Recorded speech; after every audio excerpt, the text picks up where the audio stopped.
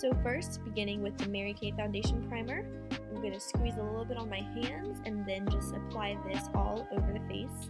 Um, what's awesome about this primer is it also includes SPF, so it's nice because I get it in my moisturizer and then also my primer. Next, we're going to start with the foundation. This is the Mary Kay Matte Wear Foundation in the shade Bronze 1. So I'm going to apply a little bit on the back of my hand and then I'm actually going to use my Beauty Blender to blend it out because right now I cannot find my foundation brush. So Beauty Blender is the next best thing.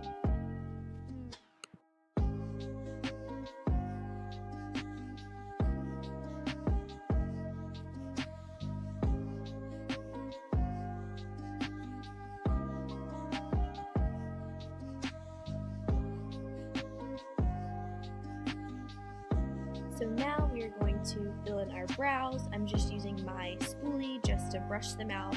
I'm in the process of growing them out, so they're a little bit all over the place right now, but we will get through this. So again, just brushing them out, and then I'm going to use my Mary Kay brow pencil. Um, it's the brow definer pencil in brunette, just to go ahead and fill them in. So I am hoping to film a brow tutorial soon for you guys, but just to give you some basic steps. So I start at the bottom, I draw my line just to create my shape and then I personally fill in the beginning of my brow first just to give it some shape and then I add my tail.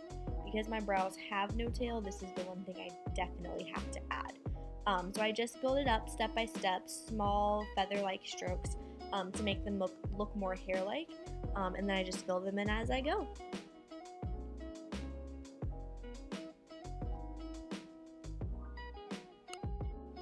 Next we are going to use the Mary Kay Eye Primer. Um, just as a base for our eyeshadow, I am heading out of the house in a few minutes, so I'm doing a very natural look, but I'm just going to use my ring finger to go ahead and start to pat the eye primer on my eyelid only, um, just because I'm not planning on using too much shadow today for this look.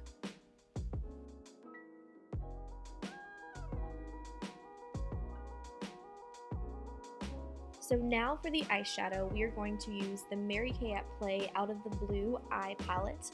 Um, unfortunately, these shadows have been discontinued by Mary Kay, so feel free to use whatever shadows you have in your collection.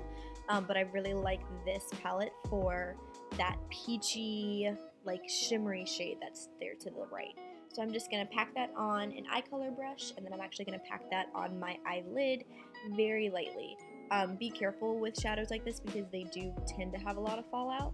Um, but overall, it's just a nice wash of color just for a quick natural look.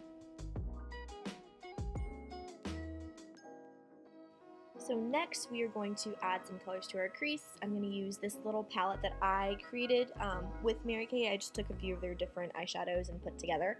Um, but I'm going to take that brown shade on my Morphe, I think it's my M433 brush, and we're taking the shade Hazelnut to add to the crease.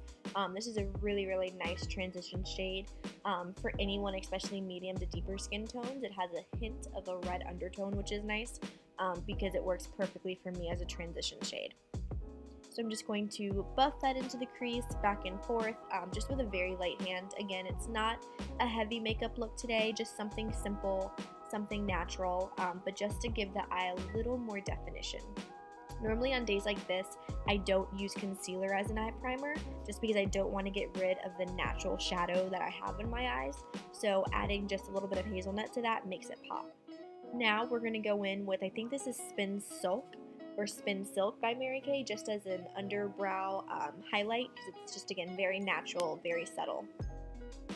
So next, we are actually going to spray our eye color brush. I wanted a little bit more intensity on the eyes, so we're just going to add that peachy shimmery shade again um, after I've sprayed my brush with finishing spray just to the center of the lid, just to make it pop um, a little more.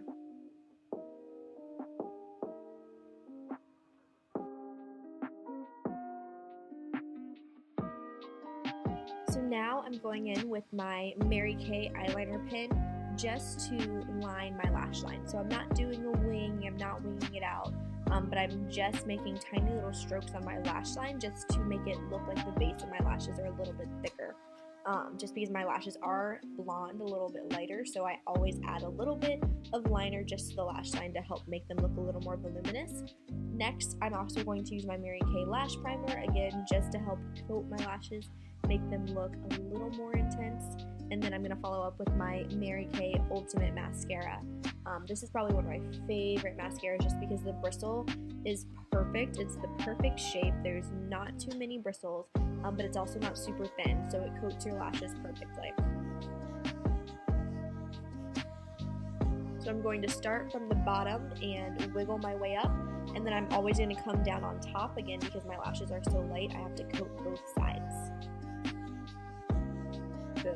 Like that's such a huge difference between one side to the other. So I'm going to go ahead and follow up with mascara on my other eye, um, and then we will move on. So next I'm going to contour or bronze. So I'm going to take my, I think it's my light bronze concealer by Mary Kay. And I'm just going to add a few dots right there um, to where my cheekbone is on both sides. And then I'm also going to add a little bit to my five head and then also along my jawline and my chin just to add um, some definition. So I'm going to blend that out with my brush. Again, moving in upward motions um, just to make sure that it looks sculpted but then still looks natural. So I'll blend that into my foundation when I'm done. Um, but again, just starting from the top of my ear and moving down and then always brushing back upward.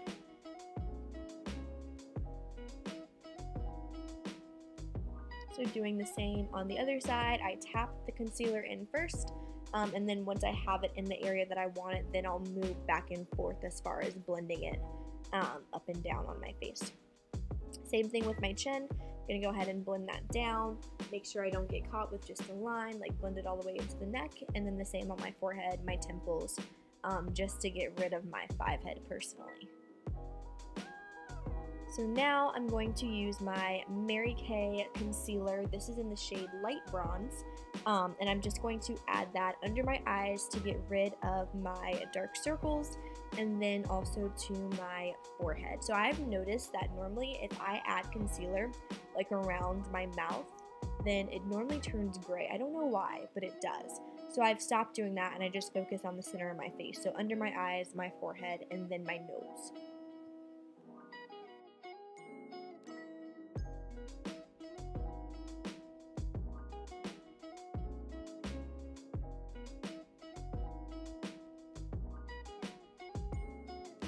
Alright, so next we are going to set all of that concealer with some Mary Kay translucent powder. So first I take my sponge just to go ahead and get rid of any extra creases that might have occurred um, in between my application and then I'm going to dip it into my powder and just set very lightly um, the places where I added concealer. So right underneath my eyes, I'm also going to add it to my chin um, where I added concealer and then I will also actually add it to my smile lines just because I notice creasing um, when I do wear foundation throughout the day, so I make sure to hit those spots as well. Ooh, such a cute look. So now, as we wait for that to bake, we will go ahead and apply our brow gel. This is my Mary Kay brow gel just to go ahead and lay down the hairs and then I'm going to take the fluffiest brush ever. It's my Mary Kay All Powder Brush, and I'm just going to get rid of all of the extra powder. Don't worry, we will go back to warm the face because I look really pale, but this step is key. So then I'm going to take my Mary Kay cheek brush and I'm actually going to add some bronzer. This is the e.l.f. Uh, bronzer palette and I think like deep bronze. I'll make sure it's in the description box below, but I'm just going to add that all over the face. So all of the areas that I contoured, not necessarily concentrating it in one area, but just hitting everything um, so it looks all nice and blended and bronzy. So now we're going to go in with, this is Ripe Watermelon Duo Cheek Color by Mary Kay.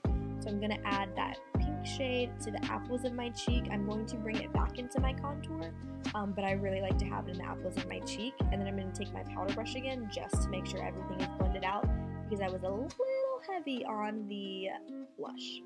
So next, this is the Anastasia Beverly Hills and Amrezy highlighter palette. Oh, it's so gorgeous. I love it. It's perfect for summer. It's just, it's bright and fun. So I'm just gonna add that to the tops of my cheekbones, right under my brow, above my brow, um, and then I also normally will add it to like the bridge of my nose and then my cupid's bow. So next we're gonna go in with this is Driftwood by Mary Kay, another one of their eyeshadows. I'm just gonna add that to my bottom lash line so it doesn't look so bare, and I'm gonna blend it into the outer corners of my eye. I'm gonna follow up with some primer. This is the lash primer I used earlier just to coat my lashes. And then I'm going to also use my Mary Kay Ultimate Mascara again just to add some more volume to my bottom lashes.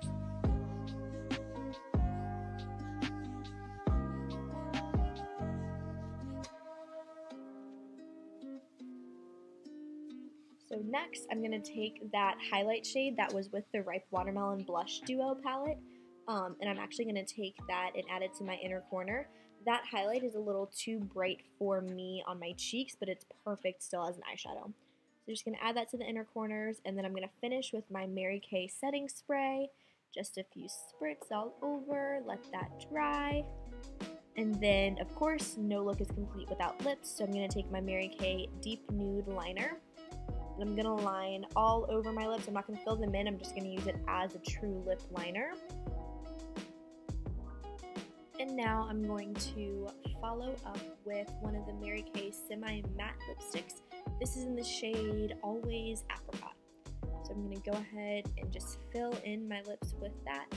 Um, and then once we do that, the look is complete. So thank you guys again for tuning in, for watching.